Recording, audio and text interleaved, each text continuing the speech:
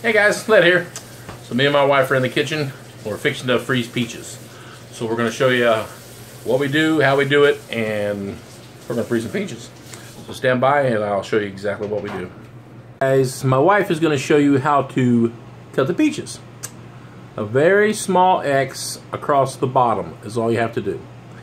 And once we have all of our peaches, selling peaches over there, we got them all um, scored on the bottom. We're going to drop them in that pot of boiling water here in just a second. And I'll show you that here in just a moment. Alright guys, the peaches are scored on the bottom in the boiling water. We're going to set them in the boiling water for like maybe 10 to 15 seconds. And then if you look just beyond the pot there, we got a big thing of ice water. You let them sit in there for 10 to 15 seconds. And then you put them in the ice water. And this lets the skin peel off. If you look beyond that, you see corn over there. We just shucked a bunch of corn and fixing to put us a bunch of corn up too, but that may be a different video.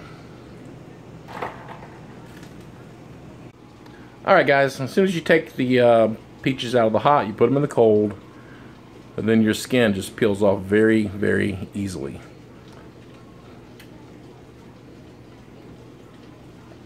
Peel the skin off.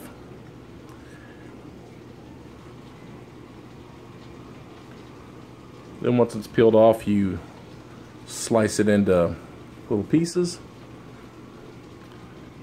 Drop it down in your bowl. Alright guys, a tip.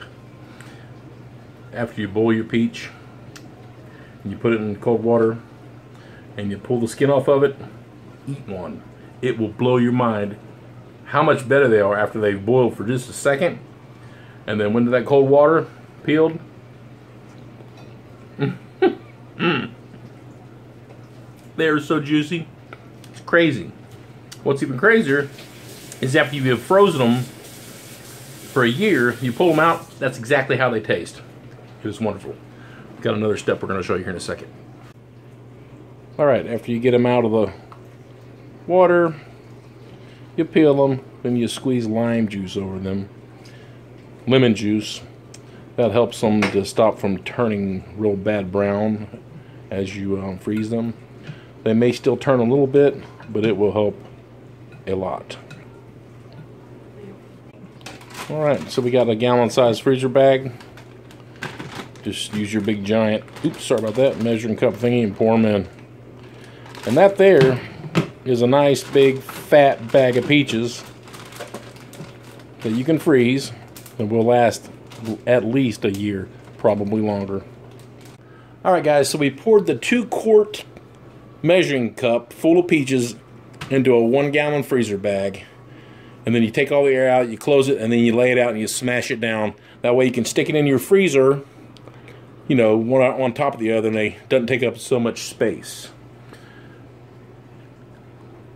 Alright guys, this is my freezer out in the garage where we keep some stuff.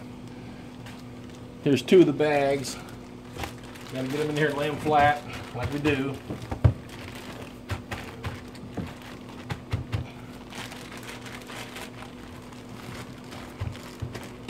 I can probably get about six, probably six bags in there.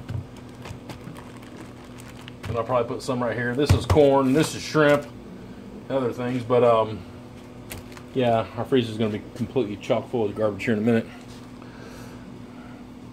They're looking good. That's pretty much it, guys. You get your uh, peaches, you score them. Um, we'll wash them first. Score them, boil them for 10 seconds. I mean, if you watch the video, my wife put them in and took them out pretty quick. It doesn't take much. Drop them in the ice water, and then the daggone um, skin peels off slice them up, put them in a bowl, put a little lime juice on them, lemon juice, stir them up, stick them in a bag. Um, on the video prior to this, when I got the peaches, I told you that my, we had just eaten our last bag from last year. And they were just as good as the one I just stuck in my mouth a second ago. Um, they keep for at least a year. I think they'll keep quite a bit longer, but I know a year for sure because that one bag was a year old. So that's it, guys. My how to freeze a peach video. Um, any comments, or questions? Please put down below. And if you haven't, subscribe if you could. Led out.